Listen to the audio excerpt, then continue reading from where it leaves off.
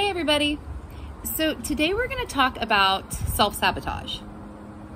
this was a really this past week was a fucking weird ass week for me, like weird. Weird. And in so many ways. So um it got me thinking though, you know, I was talking to a I was talking to Natalie and she was asking me, she was like, I was talking to her about some stuff and she was asking me, well, are you self-sabotaging? Is it possible that you're self-sabotaging? And what was going on? And I was thinking to myself, bitch, I don't know. like I just sit there and think about that and I was like, huh, could I be? That's a very fair and valid thing to bring up in the situation that I found myself in. Um, I came to the conclusion though that I was not. I will not bore you all with with that bullshit, but it got me thinking about self-sabotage in general. Now, we all do this. Some do it more than others. We all do this. Uh, I did happen to come to the, conclu the conclusion in, in this particular situation that I was not doing that. There were other things that were coming up that I have to deal with, I guess. But I guess I have to. But um, this particular case was not self-sabotage, but we all do self-sabotage at times. Some are more inclined to do this than others. Now, for self-sabotage, in the natal chart, you would look at the 12th house. Now, I want to be careful with this because the 12th house is a lot of things. It's a whole bunch of shit. Um, I'll link a video that I did about the 12th house to this video so you can see what I'm talking about if you haven't seen it. Um, but it's one of those houses, kind of like the 8th house, that gets a... I mean, it's not as unfair. Both of these houses are more, can be more challenging. But that's not all they are. There are a lot, there's a lot of good that goes on in these houses too. So I do try to stay away from looking at these houses, specifically these houses, from a challenging lens, especially because so many people already fucking do that. There's so many videos, so many posts, so many things about about the the more challenging parts to the 12th and the 8th houses. But um, because this week did bring up some thoughts about if I do this or not, if I was doing this in that moment, it got me thinking about self-sabotage in the natal chart and how you can kind of look to see ways and places that you might be inclined to do this yourself. And that way you can kind of stop yourself if you if you know what to look for in your chart, you can kind of stop yourself when you think you might be doing that and ask yourself, am I self-sabotaging? That's really a good thing to ask regardless if you're looking at a natal chart or not, right? Am I self-sabotaging? That's an important thing to know. Um, because if that's what you're doing, you can stop yourself before you do anything. uh, before you pull the trigger and actually self-sabotage. Um, so, okay. The 12th house is one of the houses that you, is, is the house that you would look at for this. It is an unconscious place. Um, so it might not be totally conscious that you are doing this. um, the sign on the house cusp, on the 12th house cusp, cusp, cusp, cusp, will kind of, uh, might show you how you do this or could show you how, mind you, this is just from the lens of self-sabotage. The 12th house is many other things. But when you're reading the 12th house, do take this into consideration. So let's say you had, I don't know, Aries on the cusp of the 12th house. Perhaps self self-sabotage comes by way of impulse. It could. Like unconscious impulses. Um, it could even come by way of, um, because this house is, is, is so unconscious, one of the ways that somebody with Aries on the cusp of the 12th house might self-sabotage is by not consciously knowing what drives them or their own need for independence. Um, all of those things could, could come out to play there. Those could be ways that an Aries 12th house cusp person, that might be how this happens. Um, okay, let's say Gemini. I'm just going to throw some random ones out there. Let's say Gemini was on the cusp of the 12th house. You might be looking at somebody who um, perhaps the things that they are unconsciously curious about. Um, that might lead to some kind of self sabotage. Um, there could be some uh, gossip, talking, communication. There could be something going on there. Um, that could be self sabotaging. Um, that certainly could happen. I also find sometimes with, with, with Gemini on the cusp of the 12th house, because Gemini is, you might find somebody who, because the 12th house wants you, you've got to dig very deep into the unconscious for the, for the 12th house. Um, Gemini is not, Gemini energy is not always comfortable doing that. Um, so you might find somebody who is not comfortable, does not feel like they can dig as deep as they as they should be able to this could also be how they um, how they sabotage themselves. It could it could play in. Um, just some ideas. Let's say you've got Scorpio on the cusp of the 12th house.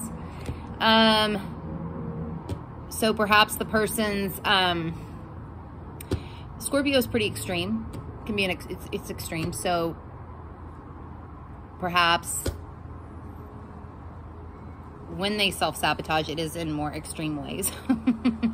um, there could be um, self sabotage could deal with control or lack of control. Because um, Scorpio energy also does deal with with control. So, um, and power. So somebody with with Scorpio on the cusp of the 12th, they might um, they might self sabotage by way of too much or too little control or power. The whole chart would depend on, you know, exactly what that looks like, but it could, it could kind of go either way. It'll go one of those ways, probably, probably one of those ways, but it would depend on everything going on in the chart as to how that plays out. Um, okay. So then from there, obviously, you know, you might be, you might be sitting here thinking, okay, well, I don't have any, you might, everybody does self-sabotage, right? And, and, and there's this, there's this idea that if you, if you don't have planets in the 12th house, you're not inclined to do this. That's bullshit. because we all have planetary dispositors, right? The, the, the planetary rulers of the 12th house cusp will all fall somewhere else in the chart.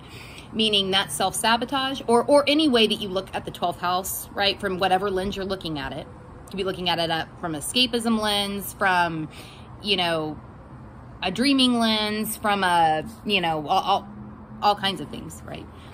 But from a self sabotage lens, everybody is going to have a, a 12th house planetary dispositor somewhere else in the chart. So we all have this propensity. Yes, people with planets in the 12th house, they might be a little bit more geared to do this.